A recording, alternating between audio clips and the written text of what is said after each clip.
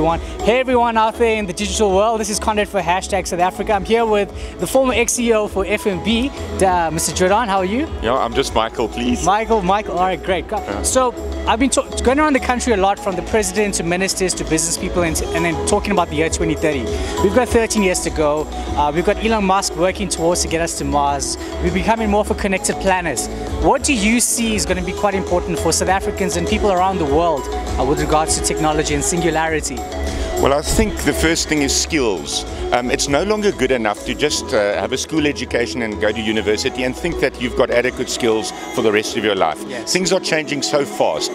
So you should have joy out of finding things out and joy out of making education a lifelong journey. Otherwise, the world's just going to move too fast and you're not going to be able to keep up with it. Yeah. And what would your advice be to, they always say there are those that are, that are witnesses to the Industrial Revolution, those that are action takers. What would be your advice to those witnesses of today?